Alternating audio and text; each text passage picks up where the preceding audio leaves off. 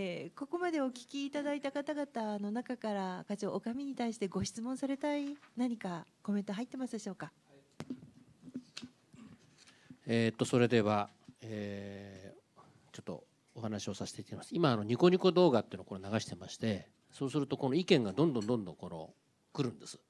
でここの画面にこう映ってるんですけどもその中からいくつかあのご紹介します。まずその意見というか感想についていくつかっていうかたくさんいただいてますけども、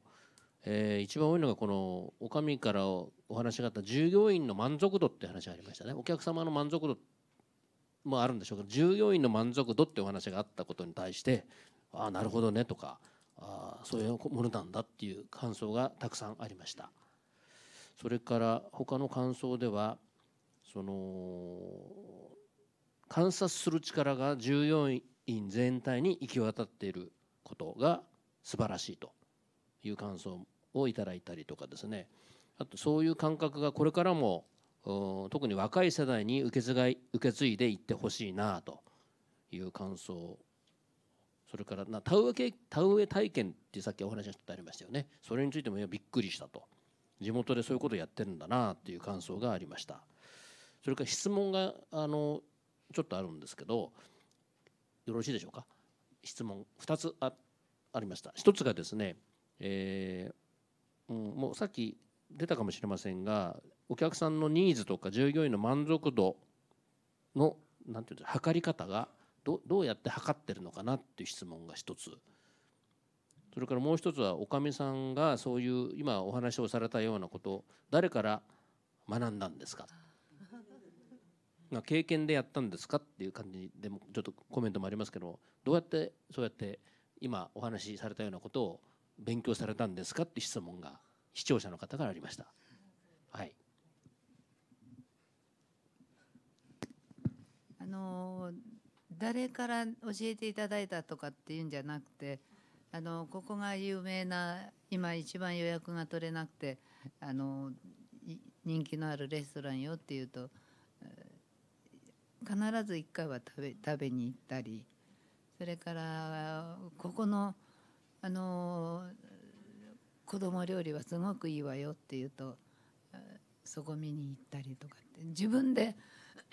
あの見に行くんです。そしてあのそれなりにあの写真を撮ってみんなに料理の件なら調理場に。それからあの施設とかそういうもんならまた施設館にとかそういうふうにしてあの自分で一生懸命見てこれを加賀屋流にしようと。マネーから始まって自分のものにしようっていうまあ、そういう気持ちがすごく強いもんですから。何か聞くとすぐに見に行ったり食べに行ったり。浅草のあそこにあのお蕎麦が美味しいって言われるとそこへ食べに行ったりとかってそんな割にそういうのが好きなもんですからあの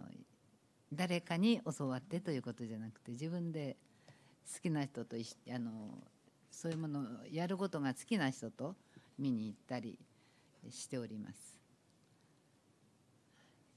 一つのこの従業員の方のはい満足度とかお客様のニーズをどうやって測ってるんですかっていう質問もちょっと難しい質問かもしれませんけども。測ってるっていうのはお客様の場合はあのご挨拶させていただいたり朝お見送りしたりそういった時でこの声をかけていただいたりむすっと帰られたりご挨拶行った時に黙ってらしたら何かあったのとかっていうそういうことで、まあ、あとはあのアンケートですね。アンケートがあの非常に点数が落ちるとなぜだろうって。それからコメントいっぱいいただいてますんでそれを分析してあのお客様に詫び状を出したりお詫びに行かせたりそれからあのお電話で失礼な場合もありますけども電話でとかインターネットでとかっていうそういうのであのクレームに対しては全部、あのやっておりやっております。それから 社員の満足度っていうのはやはり綺麗な笑顔で喜々としてこうや仕事やってくれてるかどうかなんか不満がないのかっていうのはなかなかこれはわからないんですけれども仕事してる姿を見てると大体わかるんですね。ですからあのまあ節目の加賀屋の創立記念日とかなんかっていう時にはお弁当を配ったりあのお土産記念碑あげたりとかっていうことで社員にも非常に私どもとしては気遣っておりますしそれからあのやはり相談の場面にこう一生懸命乗ってあげる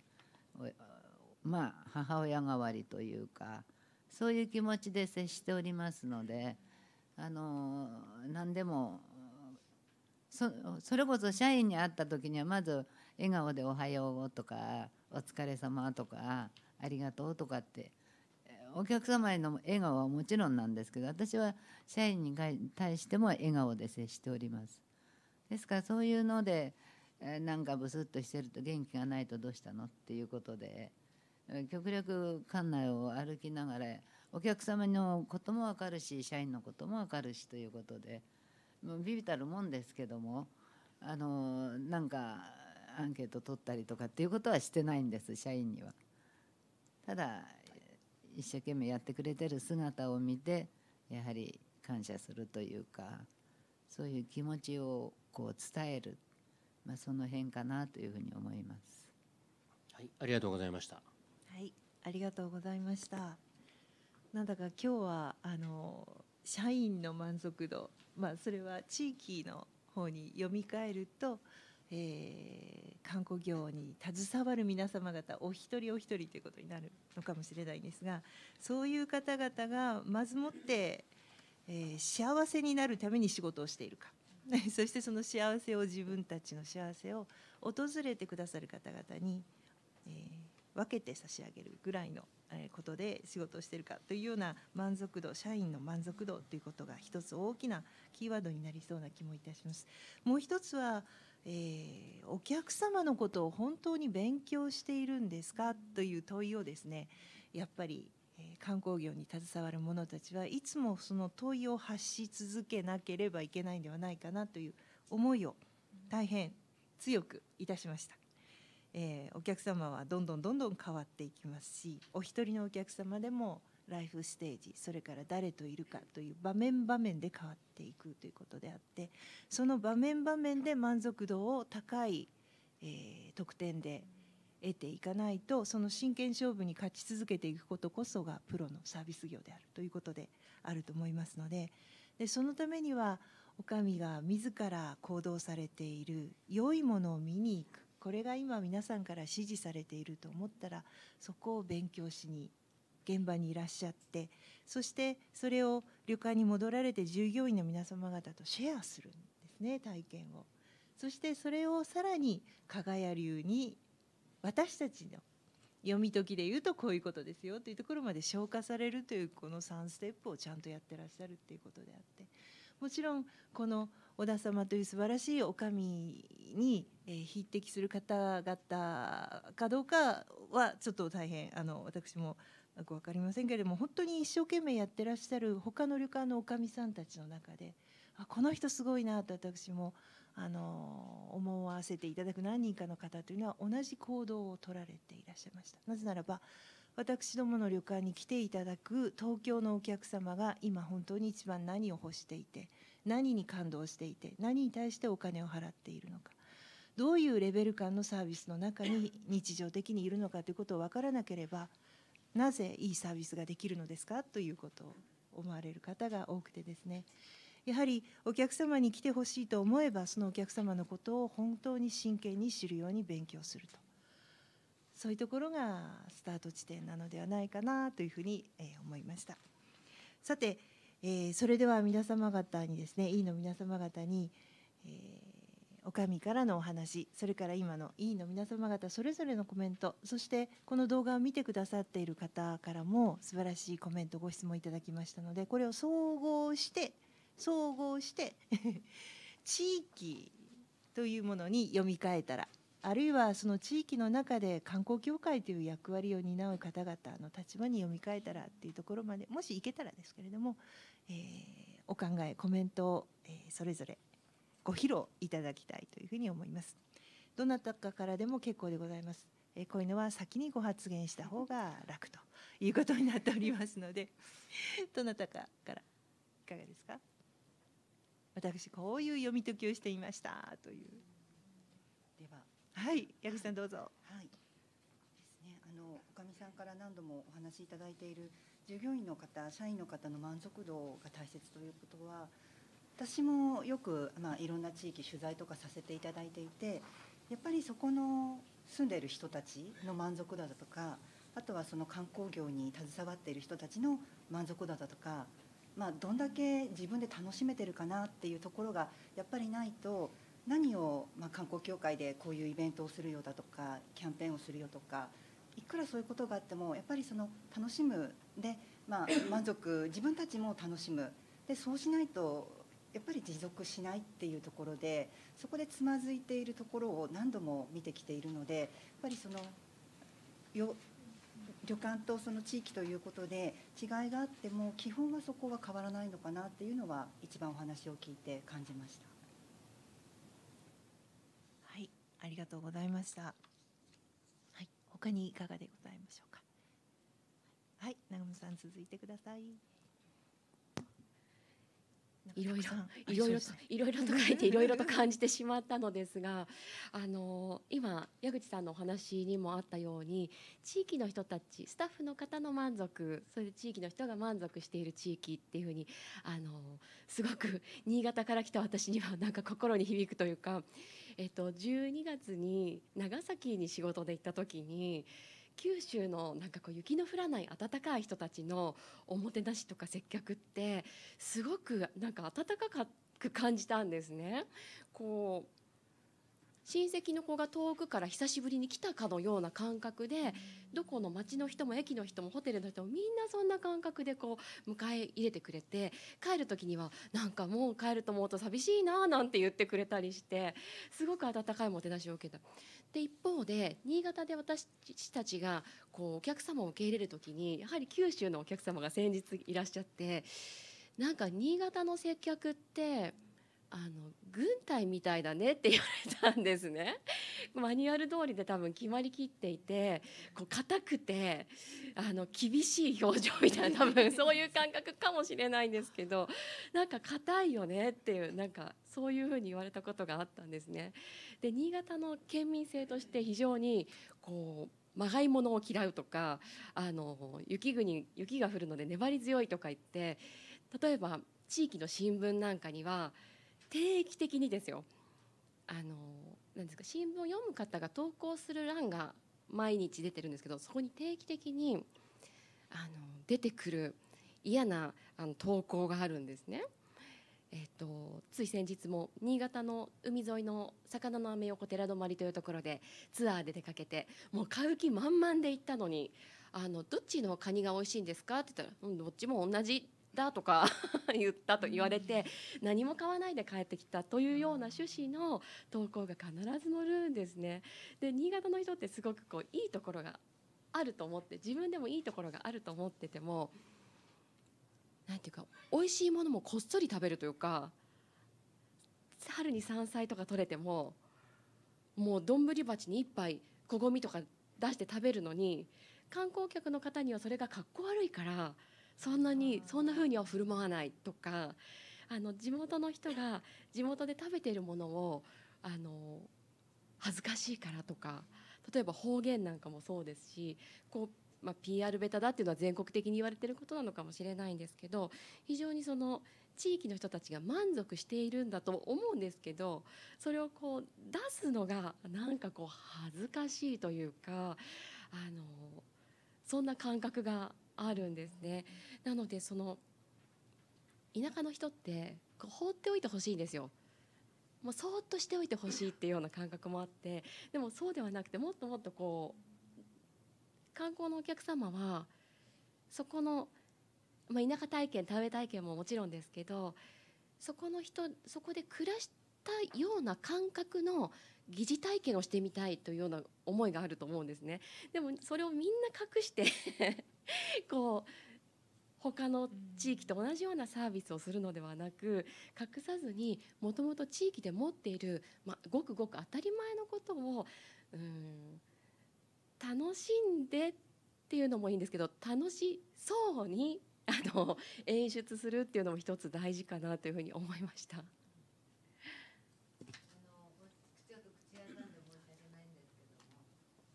常にあのおっしゃることよくわかります。私があの山城あじゃなくて山中温泉へあの行った時にこの散策してたら「おはようございます」とかあ「いらっしゃいませ」とかって町の人が声かけてくれるんですね。ですごく気持ちいいなと思ってあの和倉でもえーどこの旅宿屋に泊まってらしてもやはり朝お会いしたら「おはようございます」とか「あの寒い今寒いですからあお風邪召しませんように」とか何か声かけて笑顔でしてあげるとかあの大鍋をあのくれあの大晦日の日なんかは炊くんですけどそれはもう何倍でも食べてくれるからお餅もついてあの食べてください。えーうちに泊まった方じゃなくてもやはり自由に出入りしてくれるとかですからあの割と日本人ってそういうの下手じゃないですかこの親切にしてあげるのが。でもあのすごく大事なことだと思うんですね。その地域に来てくれた人に親切にしたり笑顔で答えたりですからあの宇和島の朝市ご旅行なさった方あのおばあちゃんたちはもうこれで店じまいするから負けしとくわってこうみんなこう配るんでそれがすごい人気であってそれで損して得取れっていうのはそこですよね。そこでまた朝市の評判やあのおばちゃんにいい人だわとかってそういうのが口コミであれして今朝市はすごく人気がありますけどそういうのはすごく大事だと思います。ぜひあの なんかそういうのを私がやっている観光バスはちょっとこう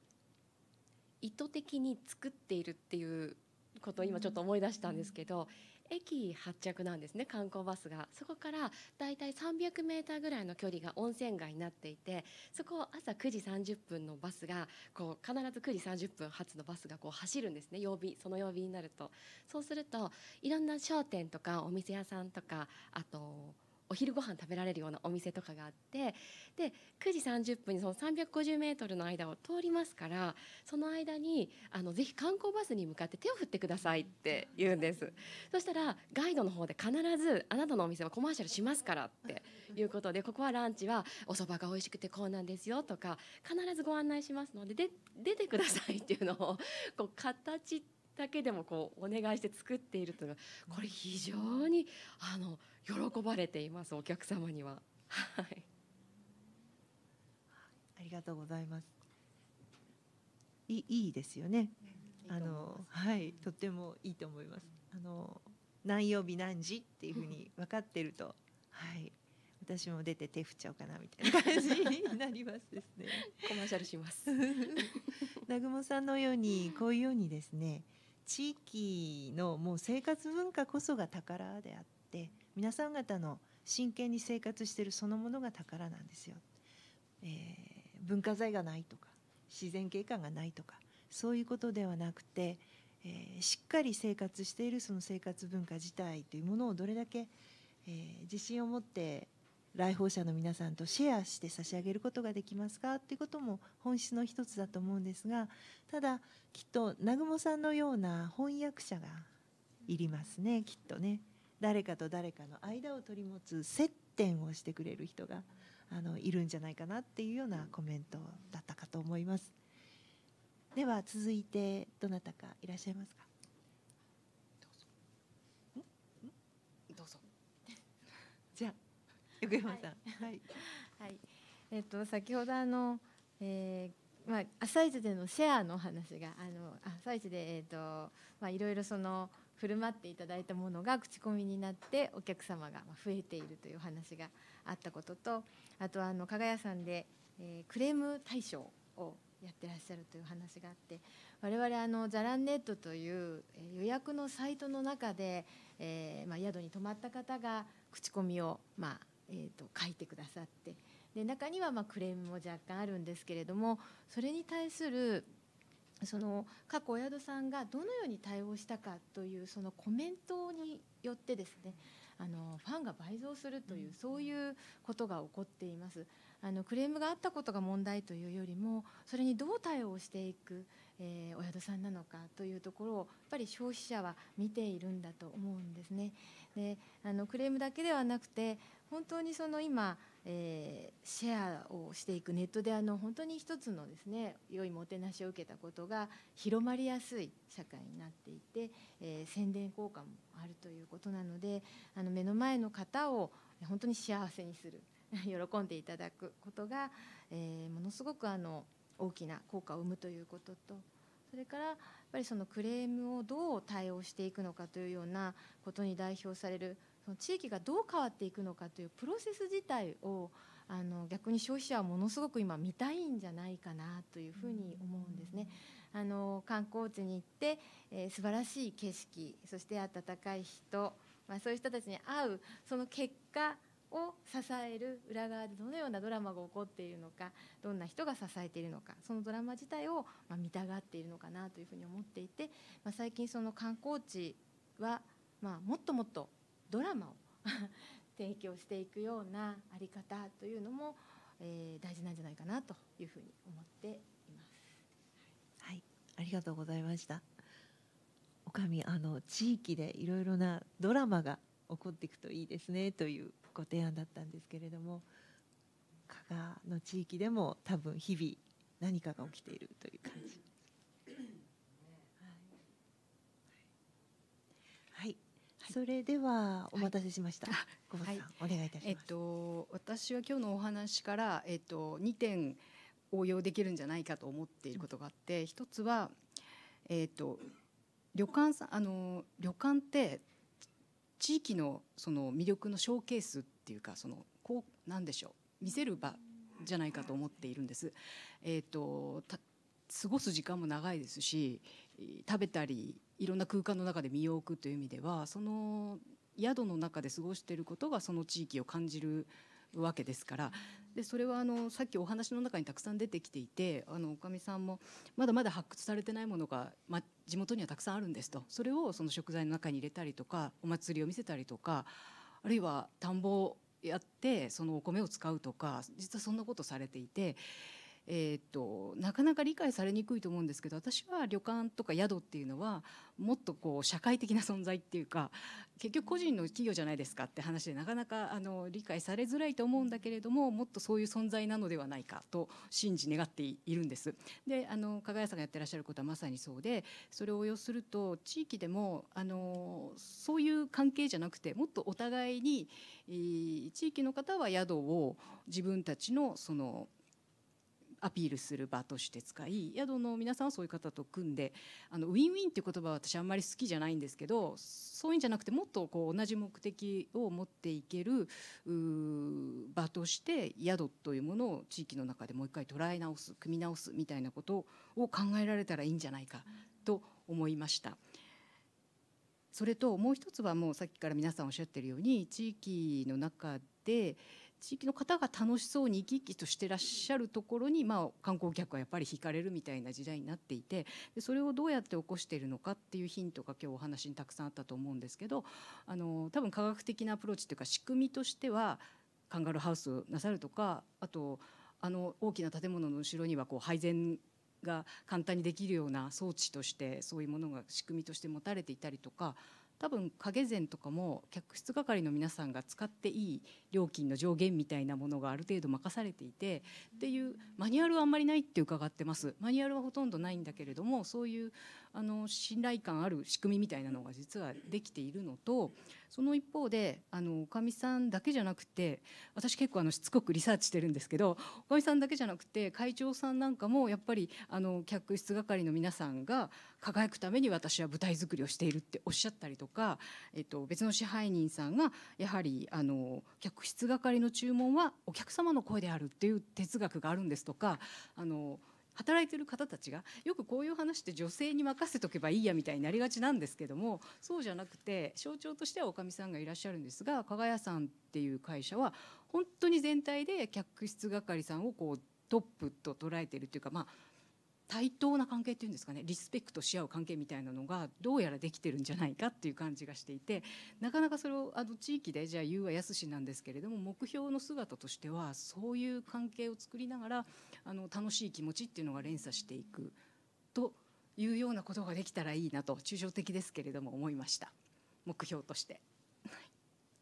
はい、ありがとうございました、えー読み解いていただきました。じゃあ母さんいかがですか？えーっとまあ実はあの海外の友人たち日本一の旅館はと聞かれた時にあの加賀屋さんですよと話をしたらえ石川県にあるんですか？と実はみんな驚いているんです。というのはみんなまず思うのはあ多分郷土だろうとか北海道だろうとか頭の中でこうなんとなく著名な観光地を思い出すんですけども石川県にあるってそれは実はかなりその驚きの一つ。まあ、と申し上げるのは実は第1回の観光もてなしの中のコメントはうちは著名な観光地じゃないとじゃあどうアピールすればいいかあの外国人の前で日本人の収穫すらまあまあならない小さな町どうすればいいとか文化のない私たちの町の観光協会どうしたら集客していいのかっていうような質問結構あるんですけれどもそれに対してあのちょっと私もあの自分なりの答えをしようと思っているんです。あの実は加賀谷さんもこういったこう日本一してやるっていうようなね気持ちで地域のこう観光文化とそれで自分たちの努力でこう34年間日本一になったわけですからそれにあの関連してこう別にどこでも東京タワーあるから外国人行くっていうわけではないです。むしろそこに生活してるそのもの自体日本らしいこと自体は日本の文化なんですのでだからぜひそれを誇りを持ってあの発信してほしいと思っています。どんな小さい町でもそれなりの味があります。どんな小さな町でもそれなりの日本的な生活ライフスタイルがあるわけですのでそれをぜひねやっていきたいと思います。じゃあどうすればいいかっていうんですけども私は昨日の夜ね この宋の時代の詩があるんですね。あの宋式式さんって皆さん分かりますか？うんっていう有名な詩詩人がいてまあ彼が書いた詩の最後の双言を言いますけども「不識庐山真面目只缘身在此山中」まあ訳すればロザンの本来の姿を知り得ないのはひとえ私がこの山の中にいるからに他ならないという意味です。つまりあの私はこの山の魅力知らないことは私はこの中にいるから知らないわけです。なので皆さんも日本の方実は素晴らしいものたくさん持っているんですけども自分たちはこの中にいるから分かってないだけなんです。だからそれはどうすればいいか私は第三者の目を借りることは大事だと思います。例えば私も外国人なんですけれどもあのじゃあ 石川県何があるかって言ったら私言ったその目の付けどころと皆さん言った目の付けどころ違うと思うんですよね。だからその違いがいいと思っているんですね。こちらの皆さんは知らないいや別に当たり前ですけれどもってこちらから見ると当たり前じゃなくて魅力と感じるかもしれないですのでそれを第三者の目を借りてあのもう一回自分たちの心を再発見してそれをもう一回何かの、形にして海外に発信するということが大事じゃないかなと思います。だからここの質問で、まあ、魅力の発骨とか企画企画をどうすればいいかっていうことは私はもう今はチャンスだと思ってもう一回自分たちの再発見してやっていけば全然間に合うと思ってます。はい、以上です。はいありがとうございました。はい、私が書いてその紙後で回してください、はい。格調高いおまとめもいただいて、はいえー確かに第三者の目というのが本当に重要ですよね。加えて先ほど、えー、お上の小田様からご紹介いただいた私は浅草で面白いものがあったら行ってみるのよ。これが流行っていると言ったら行ってみるのよっていうところは自分の中の内なる第三者の目を育てるっていうことだと思いますのでおそらくこの2つがどうしても経営層マネジメント層には必要になってくるのかな。第三者の方が言ってくださることを受け止めるためにも、えーやっぱり人をもてなしする人をお迎えするということをなりわいとしている人たちは来てくださる方々がどういう方なのかっていうことをいつでも理解できるように自分の中を高めておく。第三者の目を自分の中にも持つってことも重要なのかもしれないとも思います。どうもありがとうございました。あ回ってきました。素晴らしい。です母さんこれかお書きになって。ちょっと字が下手で。はい。あそうです。素晴らしい、はい。ありがとうございます。今あのすべての委員が、えーコメントをさせていただきました。お話をお聞きになっていらして小田様何かあのお感じになったことあるいは実はここはこうだったのよっていうふうに付け加えられたいこととございましたらコメントをいただければと思います。拙い話ばかりで大変申し訳ございませんでした。ただあの石川県能登には非常にまだまだ自然が残っておりますしそれからあの長谷川東博安倍龍太郎先生の作であの長きにわたってに経済新聞に連載された長谷川東博が生まれたのも七尾石川県の七尾でございます。で今その松の絵をなんか帯にできないかと思って私一生懸命やってるんですけどもまあそういうこととかそれから石川県には本当にあの自然があって夏になるとデパートで何なんか高価なお,、ね、お値段で売ってるカブトムシとかそういうのも都会の子どもさん方にはもう本当簡単に手に、はい、あの入ってお上げできるようになってますしホタルもまだあの楽しんでいただけます。ホタルホタルツアーっていうのもやっております。でなんかホタル臭いからって言われるんですけどでもでもそれも体験じゃないですかってやはり能登へ来てちょっと匂ったけどホタルがポッポッとこう飛んでるのが見られるとか能登でしかこれは見られないと思うんですね。多分もう あどんどんどんどん開発されて あのそういう自然というものは残ってないと思うもんですからまだまだ私が知らない能登っていうのもありますしそれからあの 3回目のえーロケに入った花嫁のれんあののの野際陽子様のあれもあのやはりあの辺のお嫁さんがあの道具に合わせてそのの自分のうちの門をつけたのれんを持っていく。で最初はあの花嫁道具にその飾り物かなと思ってたんですけどお嫁に行った先でそのなんかおめでたいこと孫ができたとかなんかのあのおめでたい時には必ずその花嫁のれんを飾るんだで今の若い人はなかなかそういうものはあのあれご存じないのででマンションにお住まいの方も多いですからあの大きなのれんは飾るところがない。だから小さいもの小さい手頃なリーズナブルな値段でひょっと買えるようなでお部屋に飾れるようなのれんを作ってみたり。それから野際さん非常にあの語学も達者ですけどもにスイスあの日本画も描かれる。で椿が大好きで椿をあのいらした時に飾ったら大変感激して喜んでいただいてその椿を持ってお帰りになられましたでそれをささっと書いたそのはがきにあのお礼状が来てでその椿をまた勝手に使わせていただいていいですか？ということで試作でのれんを作らせていただいてるんですけどそういうことでやはりあの石川県石川県ということを今一生懸命あの